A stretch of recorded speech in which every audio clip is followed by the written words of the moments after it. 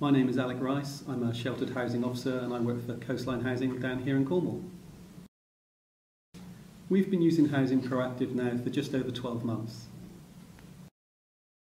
We were faced with a dilemma when our funding was cut for the actual alarm service that we used to provide. It was a reactive service and we had to come up with a new kind of system. Um, we looked at Housing Proactive and thought that this was the system for us. Housing Proactive has worked really well for us. Um, it's been a simple to install system, uh, the customers like it, and we have moved from being a reactive service to actually a proactive service.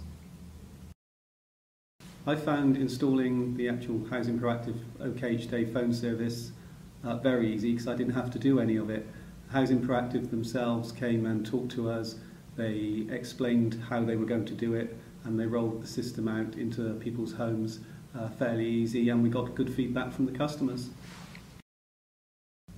Uh, using Housing Proactive has had various benefits for us.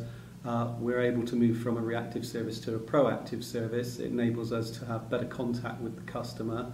Uh, they have the reassurance of knowing that if should there be any problems, then somebody will be there for them and it's actually had very good feedback from not just the customers but their next of kin, relatives and so on and uh, we find it a very good and easy service to use.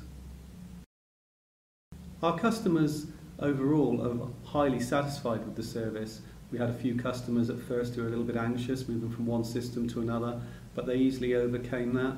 They like the service, they like the ease of it, it's unobtrusive, they only have to press the button once a day, they quickly get used to that. They find the actual OK each day phone system uh, quite nice to look at.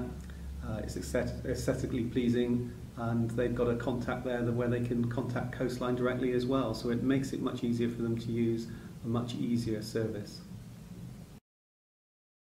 All my colleagues seem to be fairly impressed with the service. We're again uh, obviously dubious sometimes when you engage with a new partner about whether they're going to fulfill what they say they will do, but we found that Housing Proactive actually have done what they've said on the tin. It's been a good partnership, and we find should we need to contact them, that's done fairly easy, and they always get back to us when they say they will.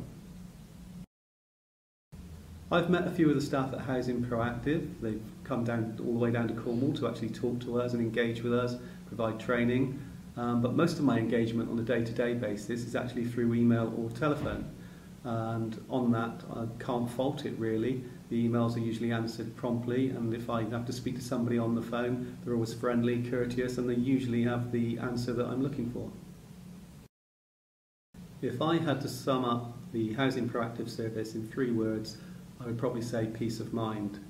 It's a peace of mind for the customer. They know that they've got an unobtrusive service that where they just press a button each day and it's taken care of. They know that their relatives will know that they're fine, so they don't have to worry about them. The relatives themselves know that there's somebody checking on, on the customer and that if there was a problem, they would proactively get in touch with them and if they couldn't get hold of them, come to Coastline. And for Coastline, it enables us to have an interaction with the customer much more so than we ever have before. So it works for all of us.